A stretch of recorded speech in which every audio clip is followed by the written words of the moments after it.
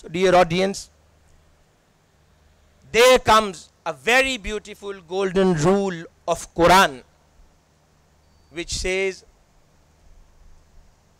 Allah Almighty asked Rasulullah to consult your companions for any major decision.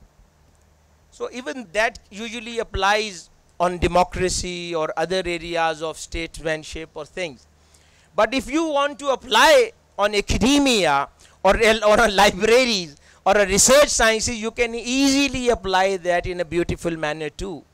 What is consultancy? It is your reference work.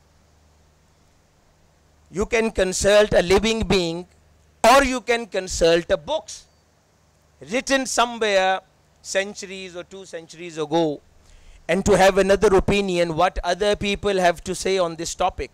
So this kind of reference work is basically suggested at this point of Quran where Allah Almighty says that consult others before concluding on something. A beautiful statement of Sayyidina Ali al-Murtaza radiyallahu ta'ala anhu. Please, we all should look ourselves in this mirror of this statement which I am just going to quote. Sayyidina Ali al-Murtaza radiyallahu ta'ala anhu said, there are three kind of people or I would say researchers in today's world. He said, the first kind is those people, they are the people of opinion. Like those people, they have their own opinion, like an intelligent people. And still they consult with others too to be on safe side, to be confident, or to get more ideas to have a right conclusion. So the people with their own opinion and still consulting with others does not matter if someone is younger or older than someone. It is a consultancy. So the people keeping their own opinion as well as consulting with others. So he said that whosoever has these two qualities together, he is a true and a complete researcher. Then he said that if somebody just sticks to his own opinion, he is a man of opinion, but he does not bother to consult others, they are his peers or her peers. He is still a researcher, but he calls him a half researcher, or I would say half baked researcher. If he does not bother to consult others because he is missing 50% of the spirit of research and just believing and depending on his own opinion. And then a very beautiful thing he said, and then the third category, people, they don't have their own opinion, the common people, and they don't want to consult too. They don't have their own opinion and they are not bothered by consulting with others. So he said that they are like a dead bodies walking on this earth. They don't have opinion, neither they want to consult others. So they are like a dead bodies. So it's a beautiful explanation what a researcher should be and how a researcher should be in sight of Sayyidina Ali ul Murtaza. And someone about whom Rasulullah said that I am a city of knowledge and he is door.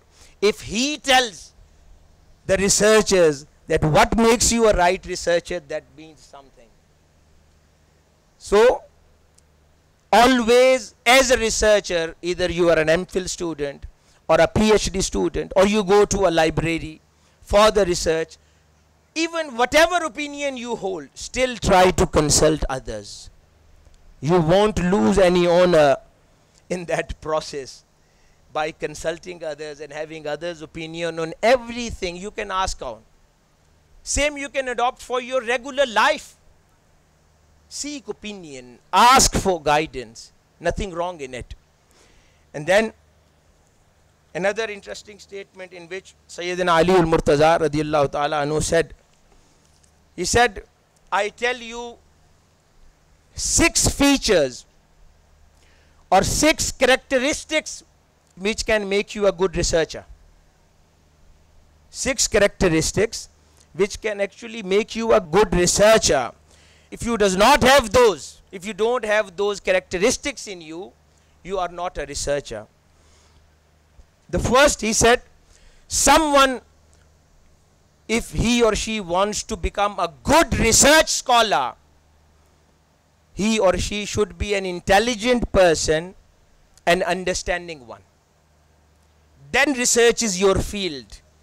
If you don't fall under that category, then there are many other areas of work which are respectable and good, then stick to that those areas. Don't try your luck in research if you don't find yourself under this banner intelligence and understanding nature. That's one thing. The second thing, he said, the person who wants to become a great research scholar, he should be greedy in seeking knowledge. He should feel greed in him or herself to seek knowledge. If he does not have that kind of greed, desire to acquire knowledge, again he is in the wrong field. The third thing, if he wants to become a good researcher, he or she should have patience in life. Nothing can be quick. There is no two minutes Maggi noodle rule or law to become a researcher or a good quality researcher. You cannot become a researcher or a scholar or research scholar through shortcuts. There is no way. Rasulullah said that whosoever strives for anything, he would get it for sure. And whatever level or rank he would get, that is according to the effort he or she has made to that way. If you don't put, if you are not ready to put effort in your research, if you are not ready to spend your nights while reading books, while researching, while working on your work, so you always have a good sleep in the night and you only work for a couple of hours in the need, you are in the wrong area. You cannot get what you desire. If you desire something that needs hard work, then maybe it is night or a day, that does not matter. What you see in your life is your objective, your ultimate target which you want to achieve in your life. So to become a great scholar, it is necessary that that becomes your primary objective. It's not the money, it's not the salary, it is not the promotion, it is ilm for itself. It is knowledge for itself. You seek knowledge for knowledge.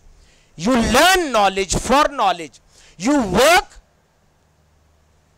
for your own betterment and not for the promotions, for the money, for the better salaries.